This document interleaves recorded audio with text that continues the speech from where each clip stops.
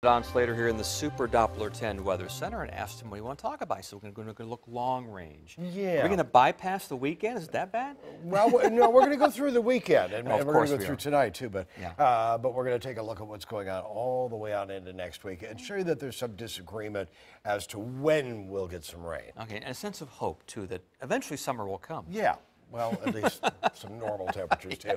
Here's a look at what's going on. Uh, 70 is normal for this time of year, so uh, we're going to see some uh, 70 degree ratings coming up by close to the end of next week. But until then, it's going to be just a gradual, gradual rise.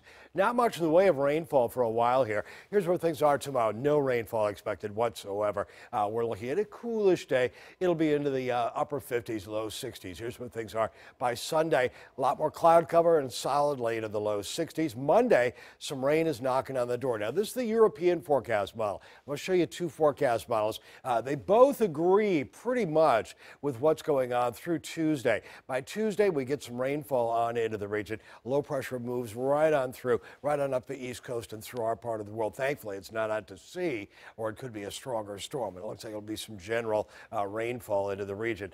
There's where we are by Wednesday evening at 7, a stray shower or two remaining. And then this forecast model has got it pretty quiet uh, for Thursday, but you'll note that there is a cold front well on off to the west that could affect us later on uh, next week as well. We're getting a little bit far out, uh, further out in time. So what happens with this is the forecast accuracy starts dropping off uh, as we get closer to Wednesday and Thursday. Here's where things are again for tomorrow. Uh, on this forecast model, this is called the GFS, the American forecast model. Quiet day tomorrow, a little bit warmer, a little bit warmer than that on Sunday.